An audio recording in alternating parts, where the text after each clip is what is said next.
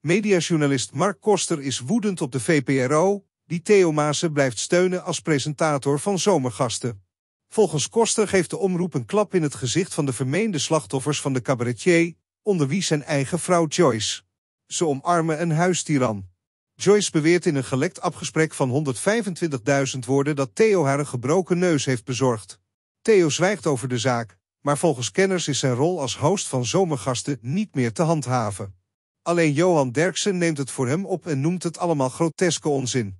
Shownieuws meldt dat de geruchten over het vermeende huiselijk geweld door Theo al jaren de ronde doen en dat de VPRO hier al bijna een jaar van op de hoogte is. Maar de omroep vindt het een privé-kwestie en heeft alleen gekeken of er op de werkvloer iets mis is gegaan. Dat was volgens de omroep niet het geval. Mark Koster, een van de meest gerenommeerde mediajournalisten van het land, vindt het absurd. Wat zei de VPRO? Ze zeiden: dit is een privé-kwestie en die is opgelost. Vreemd, schrijft hij in de Telegraaf.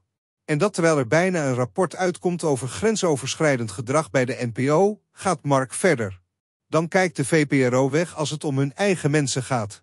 Het argument dat de mishandeling in de privésfeer plaatsvond, is een waanzinnig schijnargument.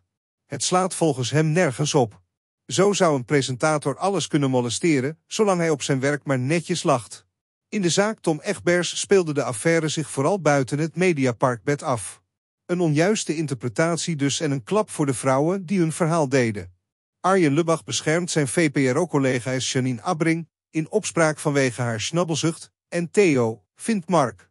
Hij heeft deze kwesties niet behandeld in zijn programma De Avondshow. Arjen Lubach laat de onderwerpen liggen. Wat een foute boel allemaal, concludeert hij. De VPRO is zo inclusief dat ze nu ook een huistiran in de armen sluiten.